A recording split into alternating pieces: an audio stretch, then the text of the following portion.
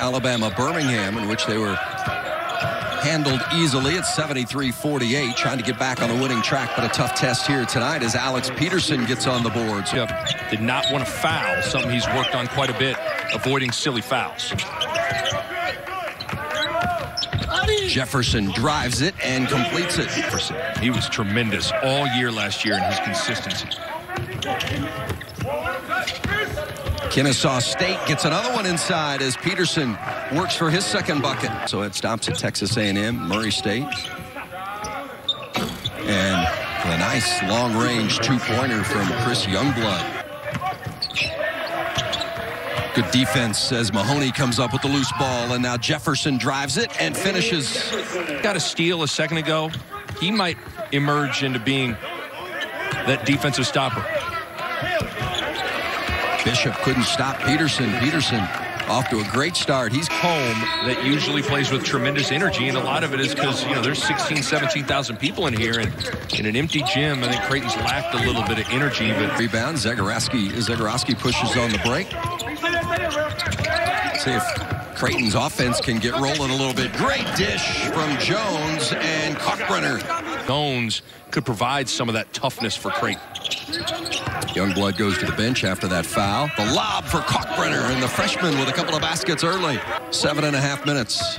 A Kalkbrenner with the steal, and he's going to get his third basket. How about the big freshman, the seven-footer? Reef Mitchell have totally changed the complexion of this game. Creighton came out a little flat, and the bench has sparked them. And Kalkbrenner does it again. Four straight baskets for the seven-foot freshman.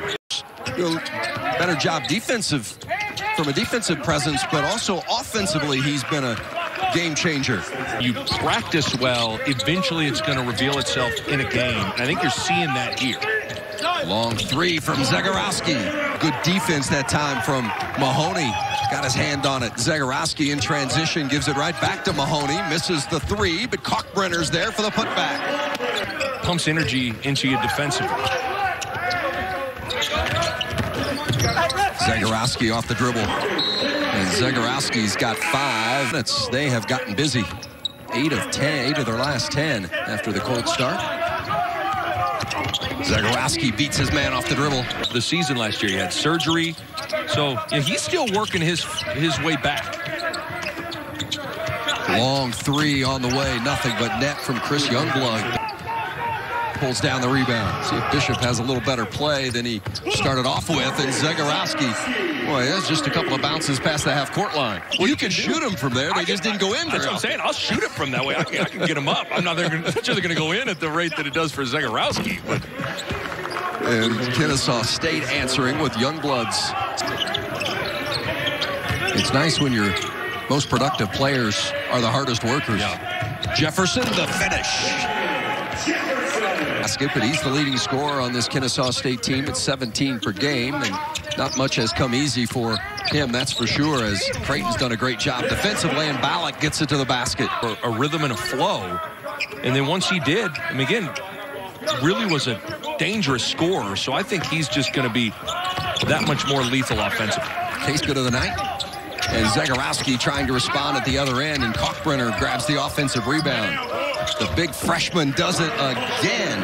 Kalkbrenner has been fantastic tonight with a totally different deal.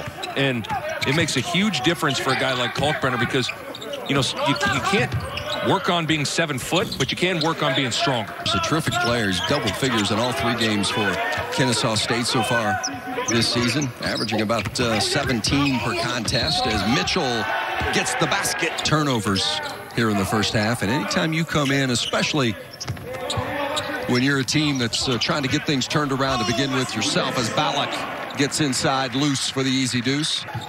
Takes effect, and Zegarowski missed the shot, but Epperson, an offensive rebound. Another chance for the Jays, and Ballock At Missouri State West Plains.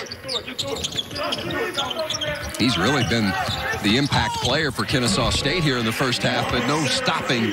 To operate with all the shooters, Zegarowski reads it perfectly. Peterson finds his way to the bucket again and pulled down by Bishop.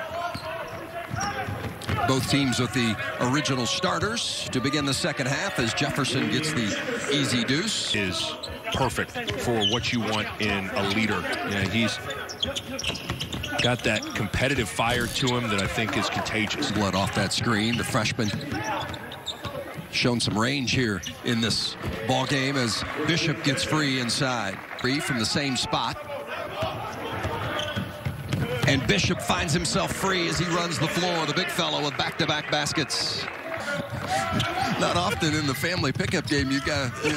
You're playing 5 you're on calling five. next. Yeah, mom, I can't play. But uh, I think it's a valuable asset, a valuable tool to be able to put your name in as a terrific move by Spencer Rogers in the reverse finish. Harder than everybody right now. He has beaten Kennesaw State down the floor numerous times. The lob for Kalkbrenner. Ballock guarding Rogers. Rogers still trying to get on, untracked here. He's averaging 17 a game, hasn't had much freedom. Going to not play to the score, you're going to play to a standard. And the standard is if there's a loose ball, you're the first to the floor every time. Ballock, three. If he takes a single shot as long as the team is successful. Oh, great defense from Mitchell to steal that inbounds pass. And the finish, plus the foul. Misses, and the rebound pulled down by Mahoney. 18-footer, Denzel Mahoney. Which one of those three do you think talks the most trash? I, think, I bet it's Alvin. I was just saying. You know, and the, the coaches just love him. I mean, he's a hard worker, picks things up quickly. He's unselfish. And there he is, knocking down the corner three. Piece for this Creighton team. Rogers looking to get his offense going. Little runner off the glass. Well done. Mahoney rises for three, and that's short. Gets his own rebound. Kicks it to Jefferson for three more. He was just 10 of 46 from three last year was Jefferson. Him and Mitchell were the two guys, Vince, that you could kind of play off of in the half court. And if those two guys emerge as capable three-point shooters, you literally have no relief. You know, one of the things you talk about teams, and I know we're a long way from the NCAA tournament, but the teams that make the deep run in the tournament, a great pass and a finish from Rogers, good look from Stroud. But teams that make a deep run in the NCAA tournament so often are those that they've got a lot of balance and they've got multiple weapons as Bishop shows that he is one. Approaching the eight-minute mark here at the CHI Health Center in Omaha where ninth-ranked Creighton has been every bit of a top 10 team. Terrell Burden getting the basket for the Owls, and then Epperson comes right back with the answer. Unbalanced, he can take and make any shot, but it's the shots where he's not, doesn't have his feet under him that he misses. So the big thing is balance for him. Yeah, Director of Basketball Operations, a great guy. Good hustle by Peterson, getting that offensive rebound and the putback. Bench with 14 points and five rebounds. There's Cordobaum again, and that left-hander gets in there this time. Nick Zile out there as well, getting some action, and there's Shereef Mitchell with the basketball now.